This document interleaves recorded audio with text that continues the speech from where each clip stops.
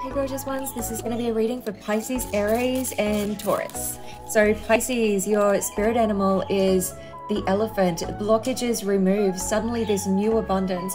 Where where you felt like you were being, you know, blocked or held back in some way, suddenly those barriers aren't there and you're able to just forge forward. Really beautiful energy. Also remember to stay hydrated.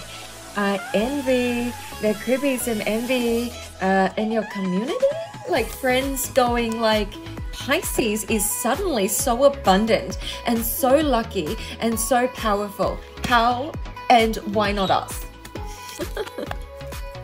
Pisces, let's see, let's get your crystal visions card. It says think carefully and major changes indeed. It major changes because as the elephant energy, it's just like this sudden shift in energy where you're just this new you. Nothing's really holding you back anymore. Amazing. Okay, Aries. Aries, energy for Aries, you just all love. Man holding a heart. So you've got a secret admirer and you're expressing your love as well. I feel like Aries, you're very vibrant.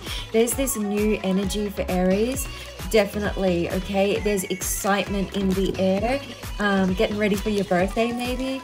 Let's see crystal visions card unexpected changes as well aries. My goodness. Oh my goodness let's see who your spirit animal is. Aries. Tarantula. The black spider. Okay so um look I, I get the feeling that it's like you feel there's it's like your birthday's coming up you want to get ready you want to make space. You know what are you going to be weaving? You know what web are you going to be creating? It's that sort of energy and i do get the sense especially before any birthday it's also really good to just sort of cleanse space and make place for those new um those new blessings that are coming in for you. Yeah bless. Okay let's see taurus Taurus, energy for Taurus, blossoming abundance, Taurus. Totally feel that. You're shining, Taurus, you know, it's gorgeous and I really feel like you are leading the way because you're leading the way with love, which is amazing.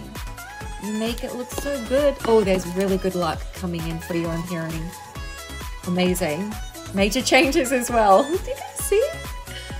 Wow, I feel like people are noticing the change in you, Taurus. That's what this is all about.